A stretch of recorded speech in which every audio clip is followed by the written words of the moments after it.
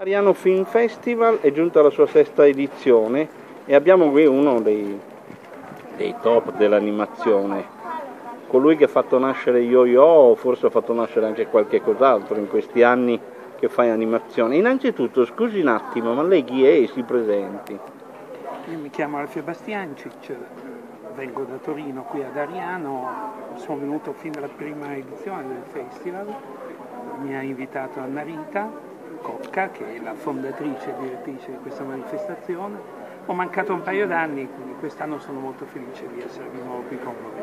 Ah, quindi l'ha mandato a casa come ripetente e gli ha detto si ritorni per gli esami nuovi? Eh, esatto, infatti ho portato un temino qui questa sera. Cos'è Vediamo questo se temino? mi Sì. i bambini. I bambini sono i peggiori critici, ma anche i migliori critici. Assolutamente. Però mi pare che l'audience di Rai Yo-Yo e di tutti i Yo-Yo che hai fatto mi pare che sia favoloso. Insomma. Sì, è molto buona, sì, siamo molto contenti. La serie va in onda ormai da un anno. eh, stiamo facendo una nuova serie di altri 52 episodi, la stiamo vendendo un po' in giro per il mondo, ormai siamo in Eh, 110 ho visto che l'avete venduta anche in Cina, in Giappone, Sì. paesi dove l'animazione forse è anche più presente. Insomma. Assolutamente, hanno une loro produzioni naturalmente, ma sono anche aperti a quelli degli altri, poi naturalmente in Europa, in Sud America, in Nord Africa, Nord Africa? sì, negli Emirati. E, e come fanno a fare le traduzioni? Perché poi Ah, insomma... li- vanno in inglese con sottotitoli spesso o addirittura doppiano, dipende dai paesi.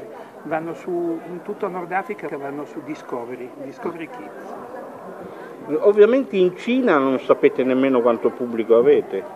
In Cina il pubblico medio della televisione cinese di CCTV è di 124 milioni di bambini.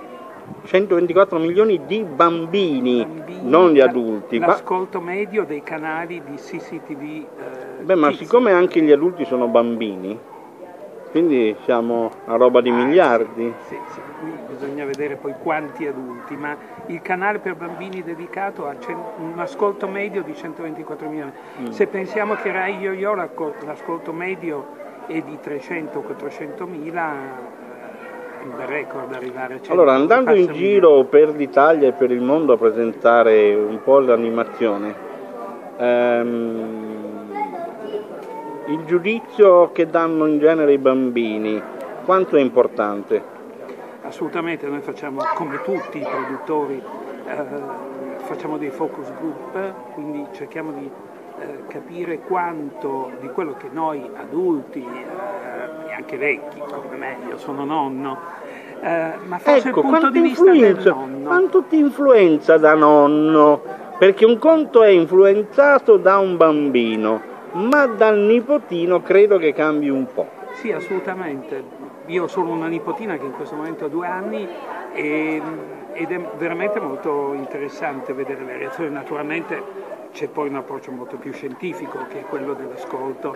Facciamo dei focus group in giro per l'Italia, eh, nel sud Italia, nel centro e nel nord, per vedere qual è il gradimento del- dei bambini rispetto alla serie. E c'è una cosa curiosa che mi ha molto colpito in un focus group a Milano.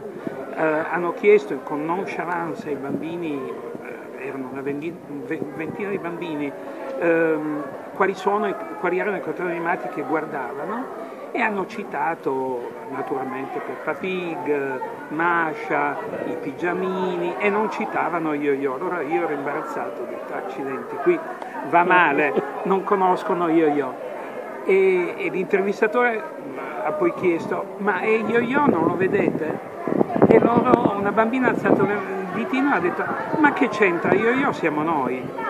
Bella però questa E cosa. questo è stato illuminante, sì, perché mh, ci ha aiutato a capire che abbiamo fatto una serie, e questo era l'obiettivo, che risponde al nome del canale, ma anche che ha quel tipo di funzione, di capacità di identificazione. Il bambino super, il supereroe lo guarda, lo apprezza, lo ammira, con Yo-Yo si identifica. E quindi non aveva nemmeno bisogno di dire vedo yo-yo, io sono yo-yo, quindi Esatto. essendo yo-yo eh, vuol dire sono me stesso. E quindi quel car- diciamo che quella- quel canale sono loro. Sì, Sì, e questo eh, è importante secondo me e Beh, io voglio dire, un, vorrei dare un premio che sarebbe il 200% del successo di questa cosa, perché comunque è una cosa estremamente importante quando si riesce a fare un qualcosa in cui un bambino si riesce ad identificare. È una storia più bella che si possa riuscire a smuovere nei bambini e farli diventare partecipi loro stessi alla cosa. Sì. E poi c'è naturalmente l'aspetto che a noi piace molto e che a me è piaciuto in particolare, quello di lavorare con un grande artista italiano che è Ugo Nespolo. Eh, Nespolo è un, artista molto noto internazionalmente, anche in Italia, negli ambienti dell'arte figurativa. E portarlo eh, nel mondo dell'animazione secondo me è stato ehm, non dovrei dirlo io, ma è stata un'intuizione interessante perché ehm, in qualche modo è vero, molti critici eh, hanno sempre detto in passato anche che il mondo di Ugo Nespolo è un mondo di cartoni animati, però un conto è eh, eh, immaginarlo nei quadri eh, è un conto invece vederlo alla prova. No? Allora, i cinque minuti che ci hanno consentito questi organizzatori sono ormai trascorsi, ma che fai tu al di fuori di fare cose di animazione? Animazione. Animazione. Animazione parlata, scritta, disegnata. E la mia passione, questa è una passione culturale, questo è una è un mestiere per il quale, come tutti i mestieri un po' del cinema eh, e come tutti i mestieri che ti piace fare, eh, che non smetti mai di fare. Siamo stati un po' troppo seri, però spero di poter rifarmi con un'altra intervista anche un po' più allegra, nel senso di qualche battutaccia stupida che di solito sono bravo io. Grazie, ciao. Grazie.